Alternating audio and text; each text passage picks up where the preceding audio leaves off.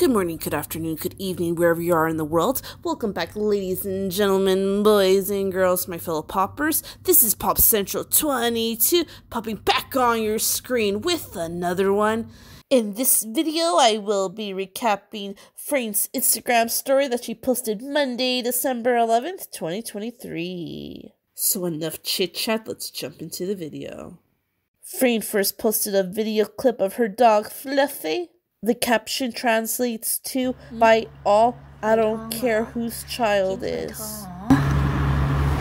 ทำไมเป็นแบบเนี้ยฮะ Freen also posted a video clip of herself. The caption translates to Happy birthday, my beautiful teacher.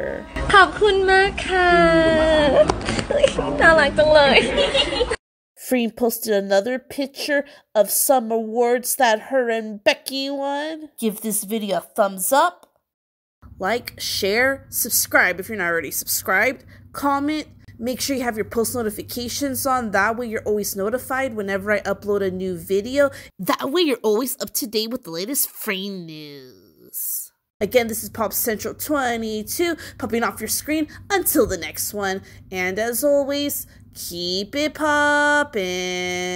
Bye, guys.